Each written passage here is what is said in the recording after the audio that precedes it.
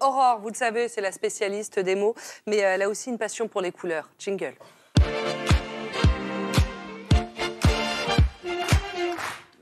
Alors, Je me suis intéressée à un symbole aujourd'hui que vous connaissez. Est-ce qu'on peut le voir, ce symbole? Oui, bien sûr. Puis il est beau, ce symbole. Alors, qu'est-ce qu'un symbole? Ça sert à dire des choses sans mots. Justement, je fais une chronique sans mots aujourd'hui.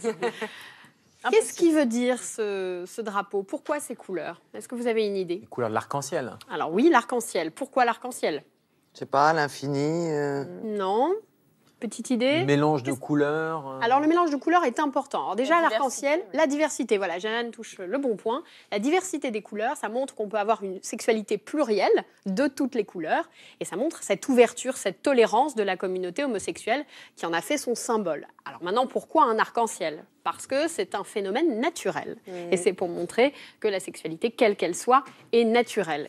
Et troisième point, euh, historiquement, les couleurs servaient aux homosexuels à se signaler les uns aux autres, mais discrètement, dans la tradition. Donc, ça a été une façon de restituer tout ça en un drapeau. Et l'histoire de ce drapeau, elle date des années 70. C'était un soldat qui était homosexuel, euh, Gilbert Baker. Il s'est installé à San Francisco. Et dans les années 60, en- c'était en 78, il y a eu une, une gay pride, enfin l'équivalent d'une gay pride à San Francisco. Et lui a cousu un drapeau comme ça avec huit couleurs. Alors maintenant, il n'y en a plus que six. Mais euh, il a cousu ce, ce drapeau et c'est devenu le, le symbole de cette communauté euh, grâce à tous ces arguments. Beaucoup plus clair. Tout le monde a pris des notes, là, ça Ah fait un bon argumentaire. Voilà, on a perdu le, le rose et le turquoise. Merci Aurore, c'est beaucoup plus clair. Et moi,